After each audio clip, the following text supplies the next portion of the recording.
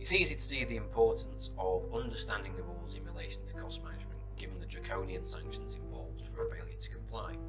Under CPR 3.14, a party which fails to file a budget despite being required to do so will be treated as having filed a budget comprising only the applicable court fees.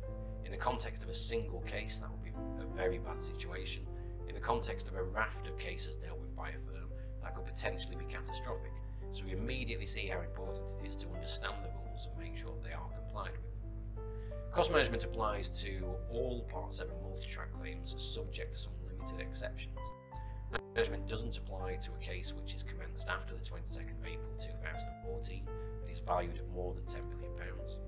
It also doesn't apply to cases which are commenced after the 6th of April 2016 where a claim is made by or on behalf of a minor.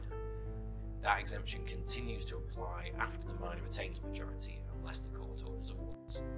Budgeting also doesn't apply to cases which are subject to fixed or scale costs and doesn't apply where the court otherwise orders. If we look at practice direction 3e, we see that in cases where the claimant has a limited or severely impaired life expectancy, then the court will ordinarily make an order disapplying budgeting. It is important to remember though that until the court actually makes that order, the rules still do apply and you have to comply with them. In relation to cases which fall outside budgeting, they can still have budgeting imposed on them.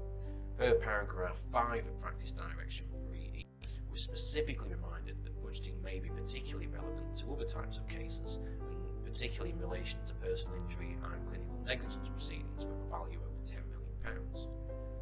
What about a situation though where parties want to apply budgeting to a case which it doesn't necessarily apply to?